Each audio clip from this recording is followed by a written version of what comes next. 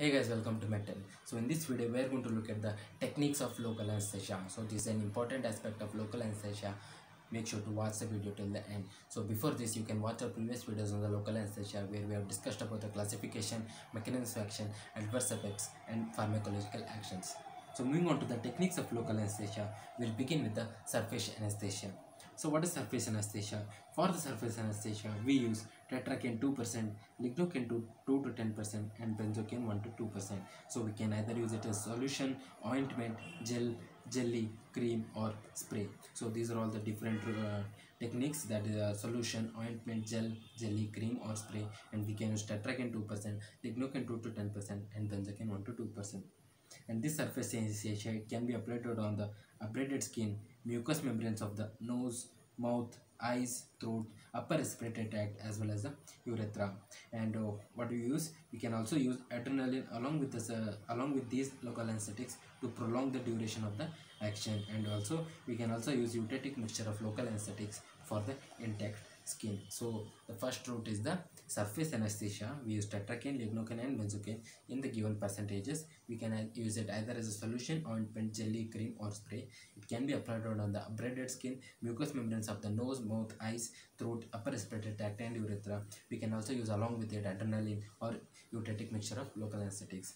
Moving on to the next one that is the infiltration anesthesia so here the local anesthesia is directly injected into the tissues. So in the infiltration anesthesia we are directly injecting the local anesthesia into the given tissues that to be operated thus blocking the sensory nerve endings of the given organ. So what do we use? We again use lignocaine procaine and bupivacaine. In these percentages lignocaine 0.5 to 1 percent procaine 0.5 to 1 percent bupivacaine 0.1 0.125 to 1.25 percentage and also we can combine adrenaline with them with the ratio of 1 is to 50,000 or 1 is to 1 is to 50,000 up to 1 is to 2.5 lakh. So we can use this for the infiltration anesthesia. And where do we apply this infiltration anesthesia?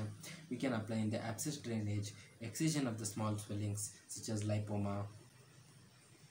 Then we can also use it for suturing of the cut wounds as well. So these are all the applications of the infiltration anesthesia.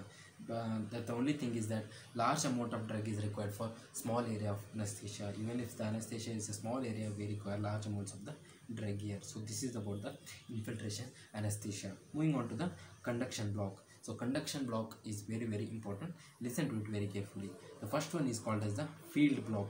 In the field block, it is used in case of mining procedures of the scalp, anterior abdominal wall, upper limb as well as the lower limb. So we can use field block in these conditions where we will inject the local anesthetic subcutaneously to anesthetize the given area. So this is about the field block used only for the minor procedures of the scalp, anterior abdominal wall, upper limb and lower limb. In this we will inject the local anesthetic subcutaneously to anesthetize a given particular area. Moving on to the next important thing that is the nerve block.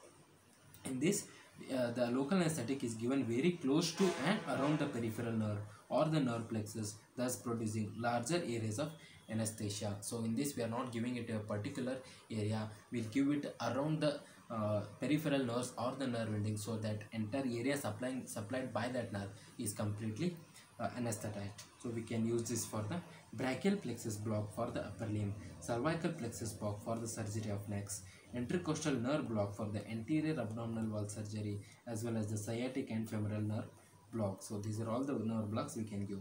We have the brachial plexus block, cervical plexus block, intercostal nerve block, sciatic and femoral nerve block. Moving on to the next important thing that is the spinal anesthesia. So spinal anesthesia here, the injection of the local anesthetic is given in the subarachnoid space. That is that is where the spinal roots are present and there the spinal roots are blocked. So we will inject the local anesthetic in the subarachnoid space and from there the spinal roots are completely blocked. So we can use lignocaine either 1.5 to 5 percent. We can use tetracaine 0.25 to 0.5 percent. We can use bupivacaine 0.5 to 0.75 percentage. And these are to be used for surgery on the lower limbs lower abdomen perineum as well as the cesarean section. So this is an important thing that is the spinal anesthesia.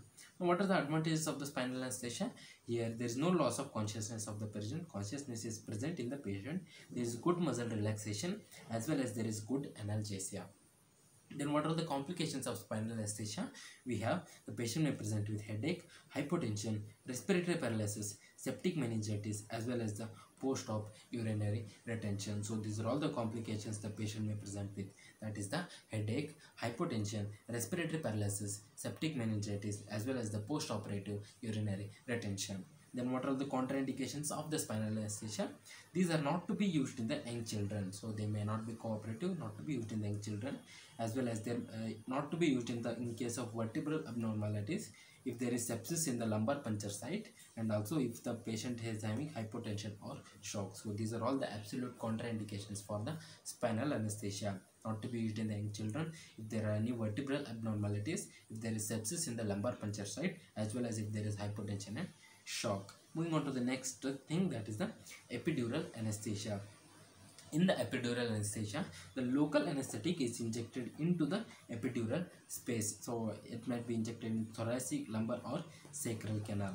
So local anesthetic is injected into the epidural space. So we can also use lignocaine and bupivacaine and it is also safer but it is comparatively more difficult than the spinal anesthesia. So what we use here, there is slower onset of action, thus larger amount of the drug is required. We, keep, we require larger amount of drug and also there is slower onset of action. So this epidural anesthesia is particularly used in the obstetrics during the labor part. So this is also important. Moving on to the next one that is the intravenous regional anesthesia. It's also called as the Bier's block. Here we will inject it into vein of the limb and finally occluded by the tourniquet. So we have the intravenous regional anesthesia. It's also called as the Bier's block. We will inject the anesthesia into the vein of the limb followed by occlusion by the tourniquet. So finally we will end this lecture with the important thought that is the the first step to improve the way you feel is to become more aware of the emotions you experience on a regular basis. So I'm going to repeat it again. The first step to improve the way you feel is to become more aware of the emotions you experience on a regular basis. This is from the book Master Your Emotions. So I thought you might be able, I thought you must hear this.